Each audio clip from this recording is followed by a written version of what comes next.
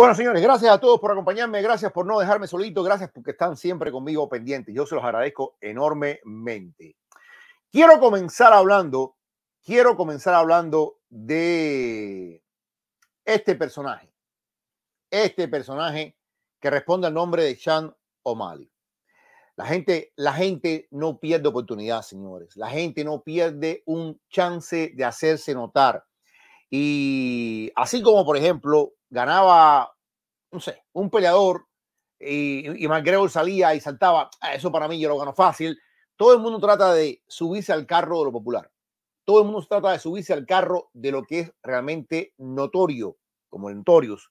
Y el que está motivo en esto es Sean O'Malley, que está en una ofensiva muy grande para algo futuro. Sean O'Malley, que hizo este video burlándose un poquito de la técnica empleada, si es que se puede llamar técnica, la estrategia empleada por Ryan García para vencer a Devin Haney, ahora está diciendo, y esto es muy interesante, y este es todo, el, toda la, secuencia del video, como, como hizo Ryan García, que golpeaba y se, se escondía, está diciendo que él va a hacer dos peleas más y que dentro de dos peleas más, él va a pelear contra Ryan García. ¿Cómo es posible que este hombre hasta ayer estaba hablando de Ile Tupuria?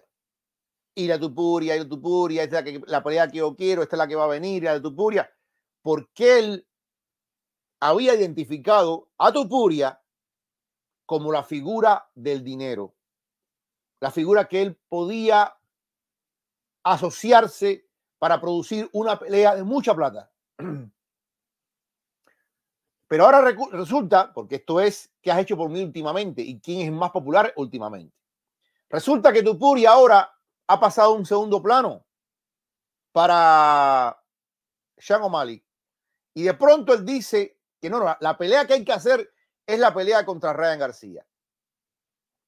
Él dice que va a tener dos peleas más, porque con dos peleas más ya habrá defendido el título tres veces y que su imagen como la primera figura de la UFC, habrá que sido a un punto increíble.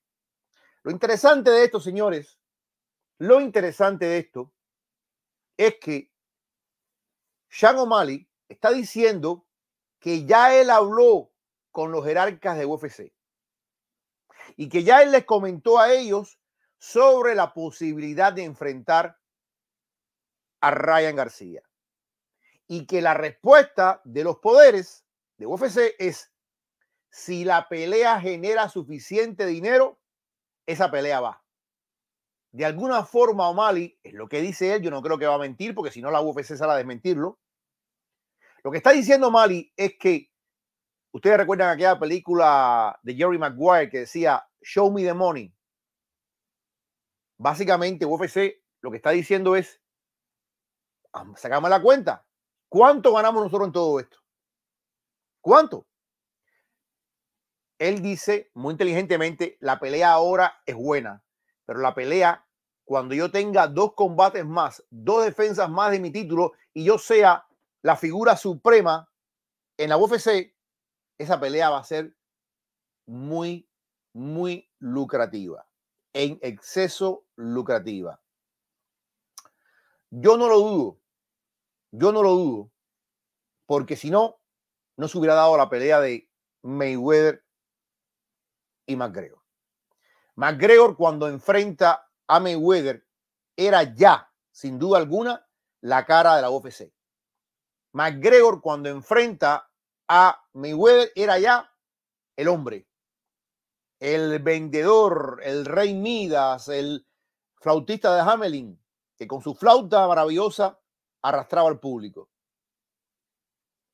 Y Mayweather era Mayweather, la cara del boxeo. La pelea produjo 4.6 millones de pay-per-view solamente en los Estados Unidos y produjo en ganancia limpia, después de pagar todo, después de los gastos, 600 millones de ganancia pura. No ha habido otra pelea que haya generado tanto en la historia de los deportes de combate como Mayweather y Conor McGregor. puede que esta pelea, si se llega a dar, sea algo parecido. Todavía yo no estoy dispuesto a decirlo. Pero lo interesante es que a diferencia, por ejemplo, de Kamaru Osman y Canelo, a diferencia, cada vez que Kamaru hablaba de enfrentar a Canelo y Kamaru estaba en la en la cima de su, de su fama, todavía no había perdido contra Leon Edwards. Dana White nunca dijo nada favorable. Dana White nunca levantó una ceja para decir, déjame pensarlo, lo voy a considerar. ¿Y saben por qué? Porque Dana White entendía que Kamaru no traía a la mesa lo mismo que traía Conor McGregor. Ojo, Canelo trae a la mesa mucho. Pero lo que quiere la UFC no es ganar unos cuantos millones. Si la UFC va a permitir que uno de sus campeones, que uno de sus principales figuras, tal vez en ese momento la principal figura, vaya a pelear boxeo contra Ryan García o el que sea, no es por 10 millones, no es por 20 millones, no es ni siquiera por 100 millones.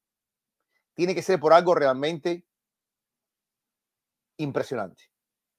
Yo no digo que van a ser 600 millones como generó Mayweather McGregor. Pero la UFC lo que le ha dicho a O'Malley es no te decimos no, porque la UFC, y esto es lo interesante, la UFC ve en O'Malley un potencial mayor al que veía en Kamaru. Y no estamos hablando de talento. Kamaru es más talentoso que O'Malley.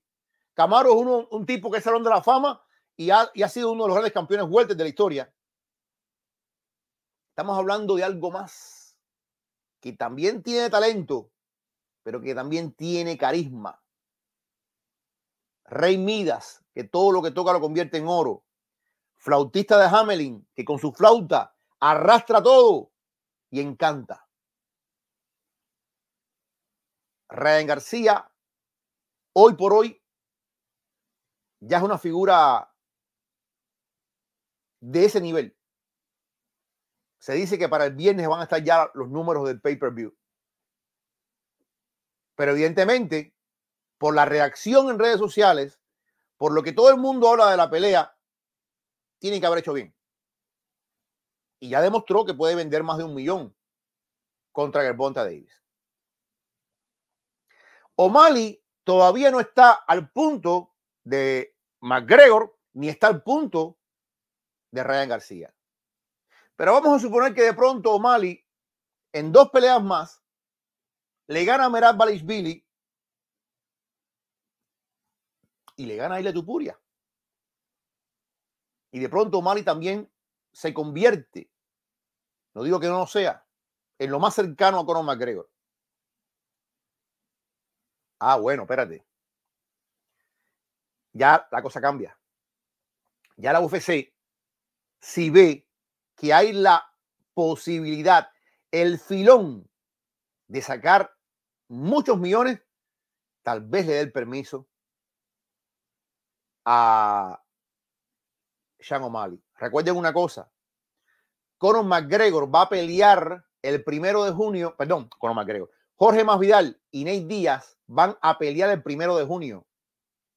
Jorge Masvidal todavía está bajo contrato, Nate no.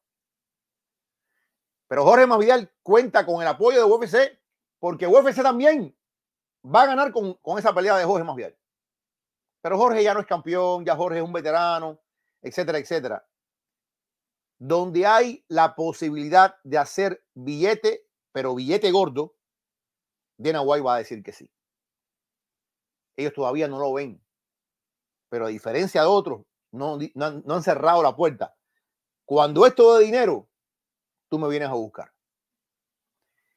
Y quién sabe, sencillamente, Ryan García y O'Malley han venido sembrando, sembrando, sembrando, sembrando, sembrando. Se burló de Ryan García. Ryan García le dijo que era un arco iris, le llama el arco iris, the rainbow. The Bleeding Rainbow, el arco iris sangrante. Cuando, cuando yo te agarre en el ring, te voy a quitar los colores del arco iris. Le dice Ryan García.